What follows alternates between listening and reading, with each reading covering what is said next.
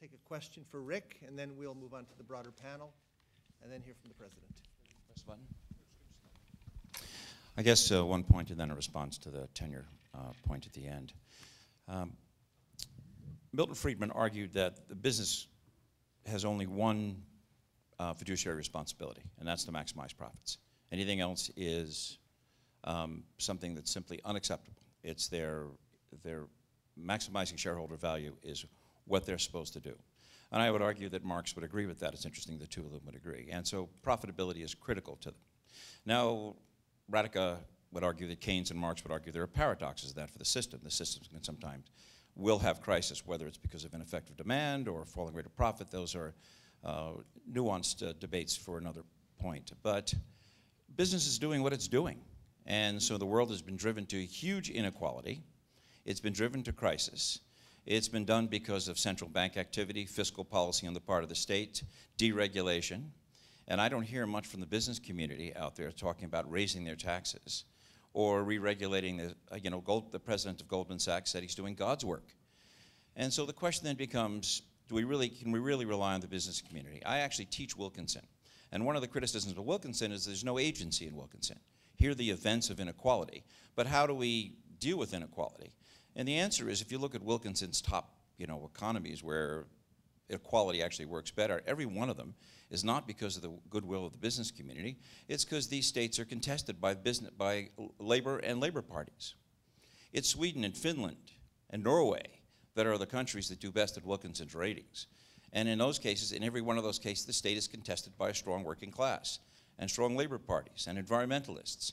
Anywhere where there isn't that strength, the business community has not created that kind of equality. And these are not places where there's a charity model, where we rely on the business community to provide some funds to fill in the gaps created by the marketplace. Systematic state funding, as Oliver Wendell Holmes once said, taxes are the uh, price of civilization.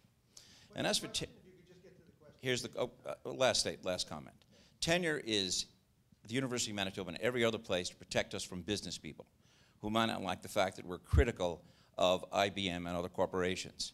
And without tenure, there's a long historical record, which I won't go on, that suggests exactly why tenure is needed. You may say there's incompetent profs, well, we argue there's a really dangerous business community out there that will threaten our academic freedom. Rick, you want to respond to that before we open it up wide? Yeah, it's a, um, I've, I've never experienced that, to be honest, in, in all the people I've worked with. But you made me think of one thing I didn't uh, make in my remarks. What is the responsibility of business with, with the uh, Occupy movement? Business cannot give me uh, a guarantee of a job forever, but business can make sure that they're giving me the opportunity to always have the right skills and to ensure I know where things are going so I don't get surprised.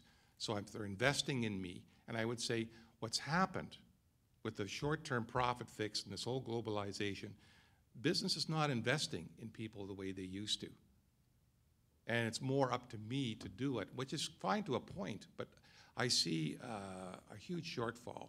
And so what business and, and the university has to work together to invest in people, come up with the right educational programs and the skills, and to make it work. I think there is an appetite to do that, and I'm hoping that the, this Occupy movement does that. I, quite honestly, I, I don't, uh, I've never heard a serious conversation about anybody in business uh, attacking the, the university. I've, if anything, I've always heard positive comments in my experience.